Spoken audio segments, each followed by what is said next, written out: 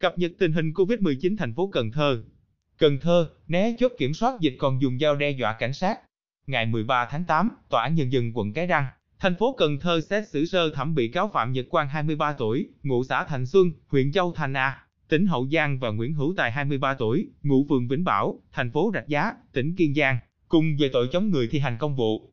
Theo cáo trạng, vào lúc 10 giờ 30 phút ngày 13 tháng 7, Tài điều khiển xe mô tô chở quan đi ngược chiều trên đường Võ Nguyên Giáp thuộc khu vực Phú Thạnh, phường Tân Phú, quận Cái Răng, thành phố Cần Thơ, theo hướng từ cầu Cái Cui về trung tâm thành phố để tránh chốt kiểm dịch Covid-19. Phát hiện hai đối tượng, Trung úy Quỳnh Minh Đức cán bộ đội cảnh sát giao thông, trật tự, công an quận Cái Răng đã ra hiệu lệnh yêu cầu đối tượng dừng xe để kiểm tra y tế. Tuy nhiên, Tài không chấp hành mà liền tăng ga bỏ chạy vào hướng đường dân sinh thuộc khu vực Phú Thạnh, phường Tân Phú, quận Cái Răng. Ngay lập tức, Trung quý Đức điều khiển xe mô tô chuyên dụng đuổi theo, nhanh chóng tiếp cận và ép xe của hai đối tượng. Lúc này Quang lấy dao Thái Lan, từ trong người ra định chống trả để thoát thân nhưng đã đánh rơi con dao và bị Trung quý Đức khống chế. Thấy vậy, tên Tài liền lấy cây dao bầu để phía trước xe xong đến đe dọa tấn công anh Đức nhằm giải vây cho đồng bọn.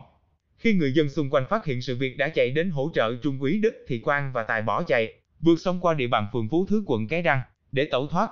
Tuy nhiên, hai bị cáo đã bị công an phường Tân Phú và Phú Thứ phối hợp bắt giữ. Tại tòa, cả hai bị cáo Quang và Tài đã khai rằng vừa cầm giấy tờ được 500.000 đồng để tiêu xài nên trong người không có giấy tờ tùy thân, sợ vào khai báo y tế bị đóng phạt nên đã né. Chốt kiểm dịch Covid-19, rồi dùng dao đe dọa cán bộ cảnh sát giao thông để tẩu thoát. Hội đồng xét xử đã tuyên phạt bị cáo Quang 1 năm 3 tháng tù và Tài 1 năm tù cùng về tội chống người thi hành công vụ. Cảm ơn các bạn đã quan tâm theo dõi, đừng quên bấm đăng ký kênh để được cập nhật những thông tin mới nhất mỗi ngày.